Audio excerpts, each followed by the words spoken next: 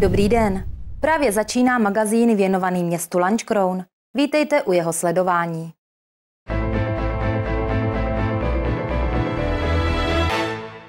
Jaké nejzajímavější události se staly na území města od poloviny července do současnosti, vám připomene následující přehled. Do 30. srpna si můžete v Městském muzeu prohlédnout obrazy Jarmily Uhlířové a plastiky Bedřicha Šilara. Ve vstupní hale zároveň probíhá výstava s názvem Drátenická inspirace. Dohromady 23 družstev dobrovolných hasičů soupeřilo v Dolním Třešňovci o zelený pohár. Jejich úkolem bylo co nejrychleji naplnit sklopné terče vodou. V rámci Hlína Festu pracoval Jakub Rajnoch na své soše ve tvaru kávového šálku. Pro tuto plastiku si vybral umístění v nově zrekonstruovaných zámeckých zahradách. Zastupitelé na svém posledním zasedání jednali mimo jiné o tom, jakým způsobem by se měli oslovovat lékaři s nabídkou ordinování ve zrekonstruované poliklinice. Řeč byla také o chybějícím pediatrovi. Fotbalový klub v Lančkrovně působí už 70 let. K oslavám tohoto jubilea patřil i zápas mezi Starou gardou a týmem Internacionálové České republiky.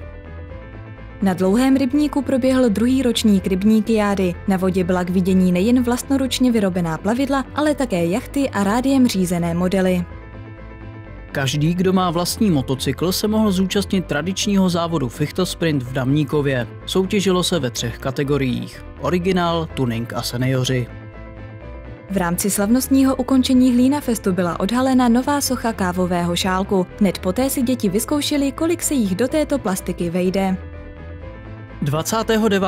ročníku cyklistického závodu regionem Orlicka se zúčastnilo 148 závodníků. Z celkového prvenství se radoval Tilcec 6 z Německa.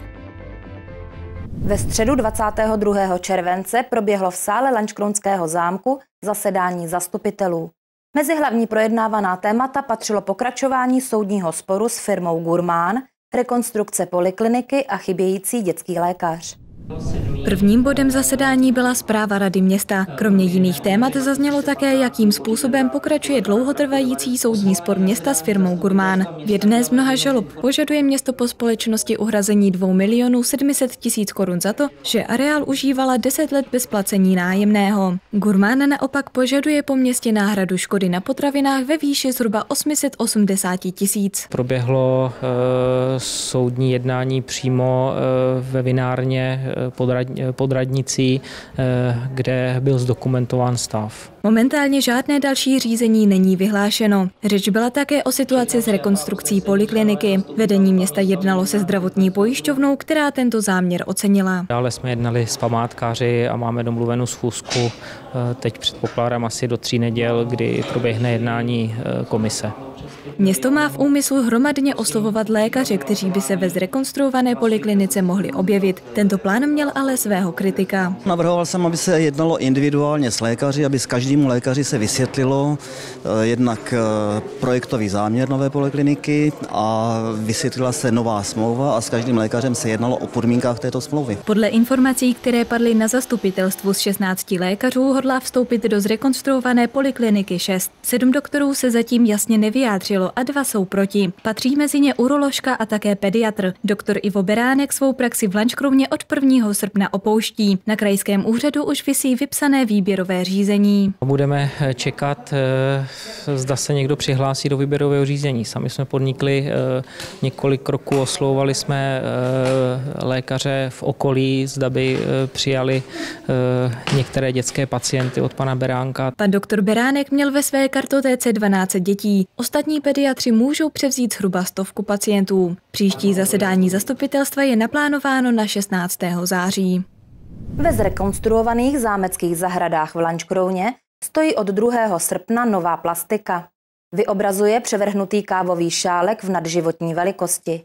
Jejím autorem je student Akademie výtvarných umění v Praze Jakub Rajnoch. Nová socha vznikala v rámci druhého ročníku Hlína Festu, který byl slavnostně zahájen 19. června. V podstatě jsem si udělal profily, jak to je vidět na té konstrukci, plus eh, v, tý, eh, v tom hliněném modelu je taky konstrukce, na to se naplácává hlína a ty profily to krásně vyřežou. Celý je to natočně, takže je to pěkný kulatý tvar.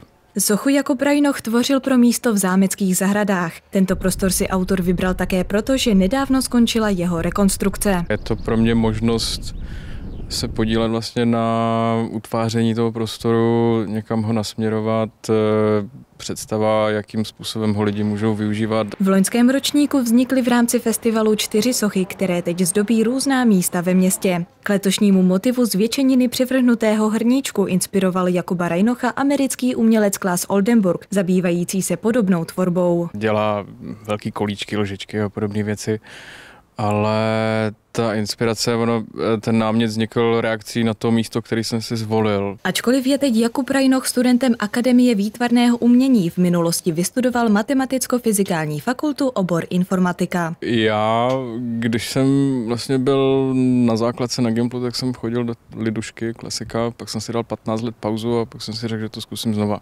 Kávový šálek je sice v pořadí pátou sochou, která vznikla během Hlína Festu a slouží jako ozdoba města. Je ale první z nich, co není figurální.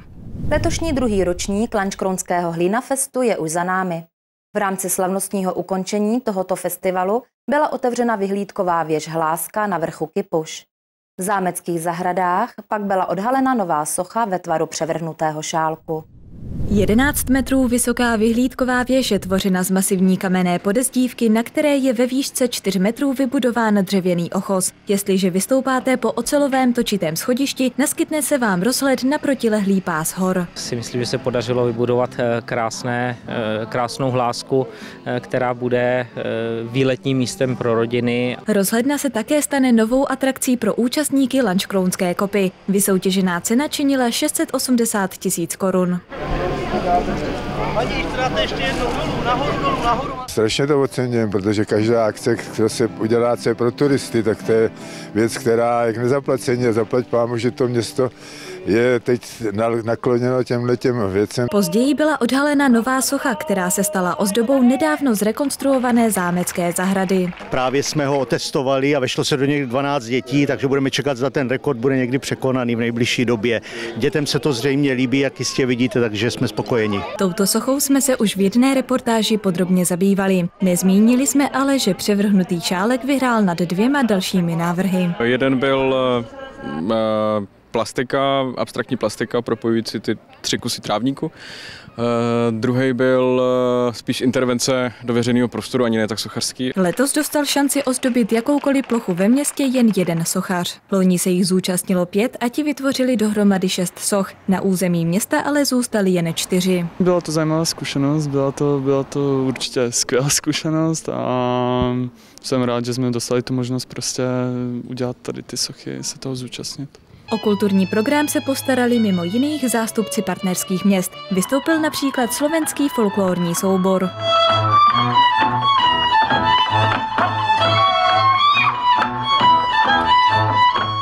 Obrazy o přírodě a mořském světě od malířky Jarmily Uhlířové si můžete prohlédnout v Městském muzeu. Vystaveny jsou také plastiky řezbáře Bedřicha Šilara a výrobky dráteníků. Na mnoha obrazech Jarmily Uhlířové se vyskytují květy, a to ve veselých a zářivých barvách. Takovými díly jsou například květina exotická a zahrada. Tohle je tisk, to znamená tisk z plochy a pak se to dokresluje tuží a takovou speciálně, aby se nerozpíjela a je to jednoduchá tempera. Je výborná kreslířka, malířka a vlastně jsou to realistické představy eh, květin spojené s troškou eh, fantazie a uzavřený, uzavřené v jednolitý celek někde přechází i k abstrakci. Autorka vytvořila i sérii maleb o mořském světě, k tomu ji inspirovaly televizní dokumenty. V životě bych se asi nepotopila, to ne, eh, potápí se člověk úplně z jiného důvodu v životě, ale eh, tohle mě prostě fascinuje a je to neobvyklé a je to čím dál tajemnější. Na tvorbu Jarmily Uhlířové navázal i Bedřich Šilar a vyřezal relief s názvem Živel. Raději má ale výrobu betlémů a loutek. To je taková oživlá socha, když jako se vyřeže, navěsí se to na nitě, tak úplně ožije že to dostane život. Vystavená jsou také díla Bedřicha Šilara juniora. Ten se na rozdíl od svého otce zabývá soustružením. Prohlédnout si můžete jeho svícny, poháry, dózy a mísy. V prvé řadě samozřejmě si musím sehnat správné dřevo podle odstínu, hlavně tvrdé, aby se toho dalo soustružit, pak se to poslepuje a pak už se to dá na soustruh a točí se to. Ve vstupní hale muzea probíhá prodejní výstava s názvem Drátenická inspirace, která vznikla ve spolupráci s cechem českomoravských uměleckých dráteníků a Krasovou Šerkopovou, kastelánkou Nového zámku u Lančkrouna. Svá díla tady vystavují tři mistři dráteníci a deset členů. Prohlédnout si můžete třeba hodiny, zdrátované skleničky nebo drobné dekorace. Výstavy budou v muzeu do 30. srpna. Kolesový parník, jachty, necky. To vše bylo k vidění na Lančkronském rybníku. Kdo nevěří svým uším, ten ať se přesvědčí na vlastní oči v naší reportáži. Lančkrounský rybník dlouhý už druhým rokem hostil rybníkiádu. K vidění zde byly různé druhy plavidel. Od lodí domácí výroby přes rádiem řízené modely až po jachty. Snažíme se navázat na loňský první ročník. Eh, Zkusili jsme tradici, nebo na zahájení tradice na Lančkronském rybníce. Je to rybníkiáda Lančkronská a snažíme se lidem nabídnout nějakou zábavu na vodě v rámci nějakých soutěží na plavidlech. Každý, kdo měl chuť a dostatek odvahy, si mohl připravit netradiční plavidlo podle svého vkusu. S tímto plavidlem pak vyplul vstříc vodám rybníku dlouhý. Naštěstí však počasí přálo a všechna plavidla v pořádku přežila. Tradiční plavidlo to je to, co si kdo vyrobí, přijede a udrží se na vodě aspoň chvíli. Z netradičních plavidel se jízdy po rybníku zúčastnil například kolesový parník nesoucí název Duch Titaniku či v mnohem vylepšené řeznické necky. Duch Titaniku už vyplouvá, takže vy, kdo kdykoliv vidíte Kate Winslet a Leonardo DiCaprio a slzíte přitom, tak teď si pojďte poplakat. Byla to 14-denní příprava plavidla plus nějaké věci k tomu drobný eh, technický problémy řešíme samozřejmě ještě i teďka na vodě, padá nám řetěz neustále z kolesového parníku, ale jde to. I přesto, že upoutávky lákaly hlavně na závody netradičních plavidel, šlo hlavně o předvedení vlastních tvůrčích nápadů a o zábavu. Zúčastnit se mohl opravdu každý, kdo našel nezbytnou trochu odvahy. Výborný prostředí, výborní lidé, jo. Tady mám eh, vedle sebe eh, vílu, vodnici, jo. Parta, která eh, už něco srandy dokázala. Zábavu si mohli užít i příchozí s dětmi, které dění na vodě nezajímalo. Připraven pro ně byl doprovodný program v podobě různých atrakcí. Mezi nejzajímavější patřil například aquazorbing a vodní válec. Řídím loď hlavně, potom ještě občas si zajdu na nějakou atrakci a to je asi všechno. Aby rybník jáda nebyla jen o netradičních plavidlech, později je vystřídala plavidla tradičnější. Na rybník vypluly nejen jachty řízené členy místního jachtklubu, ale také malé, rádiem řízené modely. V Lančkrouně a okolí si jel 29. ročník cyklistického závodu pod názvem Regionem Orlicka. V minulosti toto měření sil juniorů a kadetů vyhráli například Leopold Koenig či Peter Sagan. Kdo se vydal ve stopách těchto závodníků se dozvíte z další reportáže. Na náměstí Jana Marka Marků v Lančkrouně se na startu vodní části čtyřetapového měření sil, které se jelo regionem Orlicka ve třech dnech, postavilo 148 závodníků pelotonu se objevili jak chlapci, tak dívky. Ze šesti zemí eh, vemu to Česká republika, Slovenská republika, Polsko, Rakousko, Německo a Belgie. V první fázi závodu kroužili cyklisté a cyklistky na trase Lančkron, Rudoltice, Ostrov a Lančkron s vrchařskou premií v prostoru Lískového kopce. Zmíněný okruh o délce 11 km museli závodníci na cestě do cíle obět sedmkrát. První etapou měli jezdci pomyslně ukrojit 77 km z celkových více než 250. S touto vzdáleností se chtělo popasovat také několik jezdců pořádajícího oddílu SKP Duha Lančkroun. Ti se však ve stopách Leopolda Kéniga vydají až poté, co nazbírají dostatek zkušeností. Já budu spokojený, když ten závod z části obědou, jo, protože v takovém kvalitním peletonu ještě nestartovali. Na konci sedmého kola se v cílové rovince do čela prodral Tony Franz z Německa. V závěru přede mnou byli dva závodníci. Měl jsem ale dost sil a předjel je. Konec etapy byl neuvěřitelný. Druhé místo obsadil Andy Beran, Němec s českým příjmením a předky. Chybilo tomu trošku, jako, že bych jel trošku víc zezadu, protože Tony Franz je zezadu, měl lepší pozici než já a byl to docela rychlej sprint. Třetí nejrychlejší jezdec první etapy, Paul Rudolf, by asi potvrdil slova svého krajana nejen o průběhu závodu, ale také o tropických teplotách, za nichž probíhal. Trošku až dost vedro, když jsme jeli na kopce, protože tam nebylo na ani stín nic, ale hezký, radši než těžt. Dominance německých cyklistů pokračovala až do konce 29. ročníku. Jeho celkovým vítězem se stal Til Cetsche. Stříbro si vyjezdil Tobias Nolde.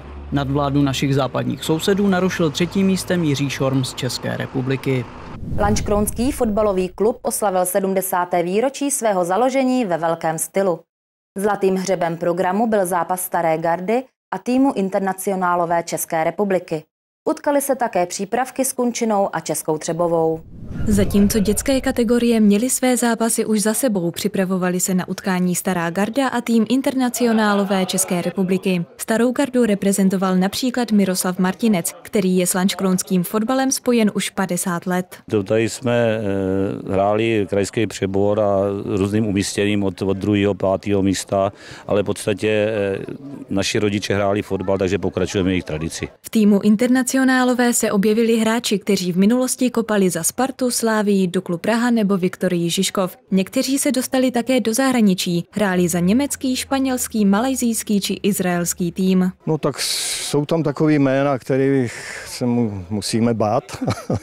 A doufám, že nám půjčí míč, aspoň občas.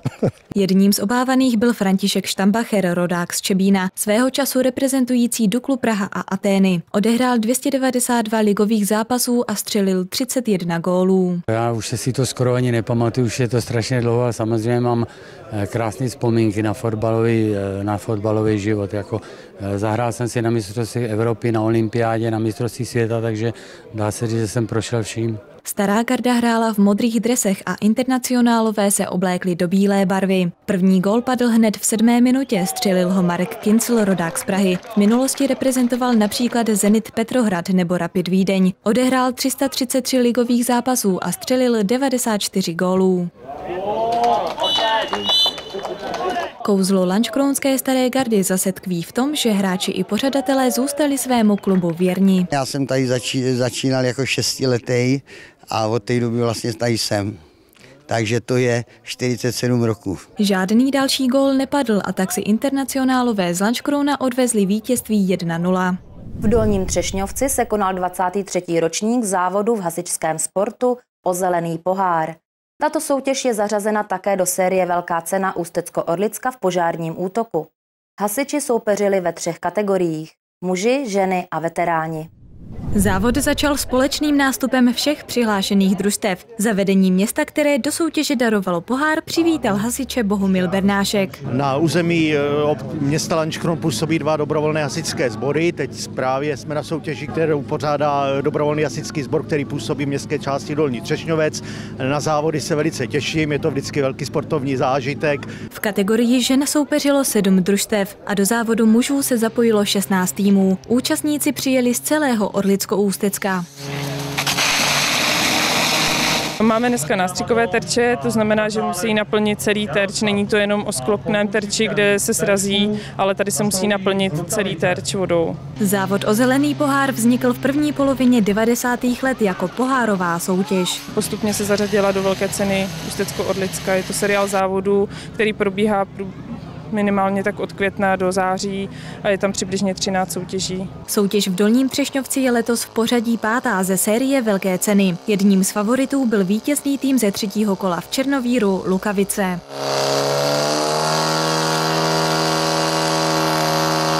Celkově jsme myslím, na třetím místě v té lize a po dnešku to asi bude trochu horší, ale snad, snad ne o tolik. No. Dalším týmem, který měl šanci úspěšně zabudovat, byla Bystřec. Jsme na první příčce nebo průběžně vedoucí tým, tak jsme chtěli tak dát takový zajišťovák a povedlo se to. Bystřec nakonec zvítězila. Hasiči zvládli trať za 22,88 sekundy. V kategorii žen zazářila Česká rybná s časem 27,44 sekundy. Pohár starosty města získal Letohrad Kunčice B a z žen Horní Třešňovec. V kategorii veteránů vyhrál také Horní Třešňovec. Pionýr Babeta Mustang. Fanoušci a majitelé těchto motocyklů si přišli na své na Damníkovském fotbalovém hřišti, kde se tyto motocykly setkaly na nyní už tradičním závodu Fichtel Sprint. Pro ty, kdo mají rádi motocykly jako je Pionýr nebo Mustang, se na Damníkovském fotbalovém hřišti konal takový malý svátek v podobě závodu těchto motocyklů. Vznikl to nápadem nás třech, co to pořádáme v jedné garáži. Je to čtvrtý ročník a každým ročníkem se nás teda schází čím dál tím víc, což je dobře, vidíte sami. Účast hojná, myslím, že letos je nějakých 54 závodníků. Účastnit závodů se mohl každý, kdo splnil základní podmínku. Mít vlastní stroj, na kterém se dá závodit. Pak už stačil jen dostatek odvahy vytěžit ze svého motocyklu maximum. Vidíte za mnou, tam je taktická dráha. Uh, jede se to dvakrát, počítá se nejlepší čas a ten se sčítá potom se samotným sprintem. K vidění byly motocykly napříč celým spektrem funkčnosti. Od strojů sotva pojízdných po takové, které vypadaly lépe než nové přímo z výrobní linky.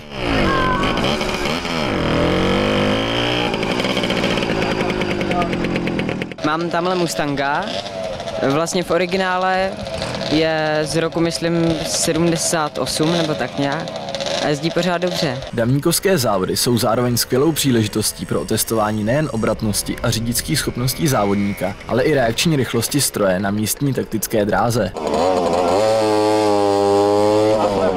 Ambice letos zrovna nemám, letos se to výkonnosti nějak nepovedlo, ale do příštích let určitě. Závodilo se ve třech kategoriích. Kategorii originál vyhrál Jiří Marvan.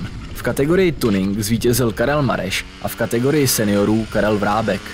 Ani příští měsíc se nebudete nudit. Na jaké akce se můžete přijít podívat, uvidíte v pozvánkách. V pátek 21. srpna od 20 hodin pokračuje dalším večerem na farní zahradě Kulturní léto. Tentokrát návštěvníky čeká večer nejen pro děti se Zorou Jandovou. V sobotu 22. srpna od 9 hodin startuje v Lukové u na další ročník motosrazu. Na Novém zámku u Lančkrouna v sobotu 29. srpna proběhne další hradozámecká noc. Pohádkovou hru se zpěvy Čert a Káča odehraje divadelko na koleně v zámeckých zahradách v sobotu 29.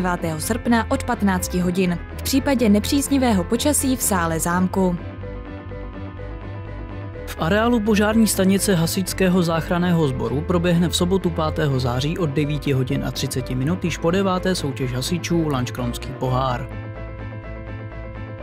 Od 5. září bude v Městském muzeu k vidění výstava obrazů Pavla Šlegla. Přednáška na téma Islám, historie, současnost, budoucnost se uskuteční ve čtvrtek 10. září od 16 hodin ve Střední škole zemědělské a veterinární. V pátek 11. září na náměstí Jana Marka Marků startuje 47. ročník Lančkrounské kopy. To je ze srpnového vydání vše. Těšíme se na vás příště 12. září. Na viděnou.